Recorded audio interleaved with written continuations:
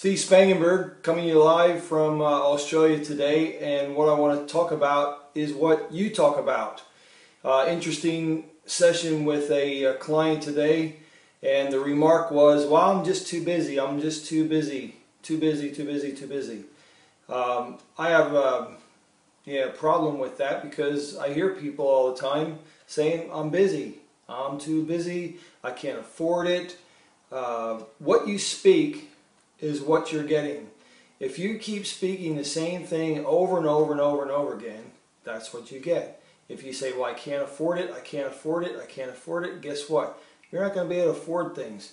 If you put out there that you're too busy, I never have enough time, don't have enough time, guess what? You're never going to have enough time because automatically you're programming your subconscious to put you in the same thing that what you're saying. So turn it around, flip the script, saying, I can afford everything. I have enough money. Money comes to me all the time. I love money and money loves me.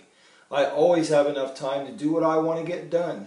Start saying these things instead of the bad things. So be careful what you talk about because that's what you're going to get. Steve Spangenberg coming to you live from Australia with the ILN Challenge. Make it a great day.